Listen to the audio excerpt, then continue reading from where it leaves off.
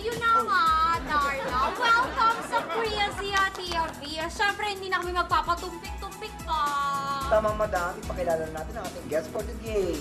Tama. Alam mo, Darla, etong guest natin, talagang ang galing niya, ang talino. Oh. Kasi siya ang nakaimbento ng pinakamalakas na vacuum sa buong mundo. Totoo yan. Tawagin na natin si Hener Higop.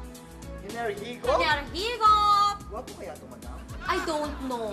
Ah. Ay, sir. Hello, Madam Crazy? Uh, hello. That's Darla! Carla. Ah, Darla, hello.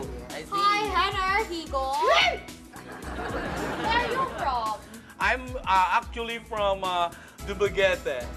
Oh, so you're Filipino. Oh, very much pure-blooded Filipino. Okay. So what is the name of your invention? I name it the very powerful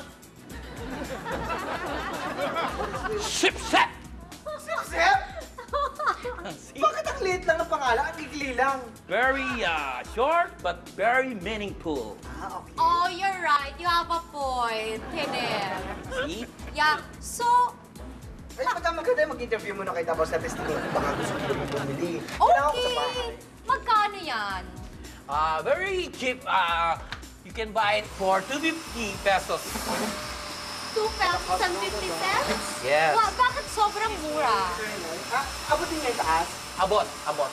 So, paano mo naisip na mag-invento ng pinakamalakas na vacuum? Well, na naisip ko siyang inventin magmula nung nakita ko siya at bala ko siyang nakawin sa colleague ko. Oh, so ninakaw mo siya. Hindi masyado.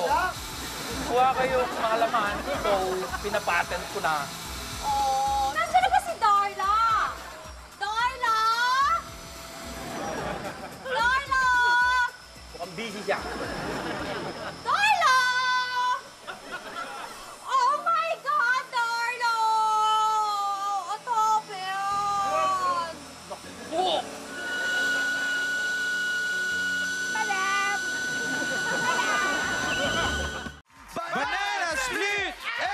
是的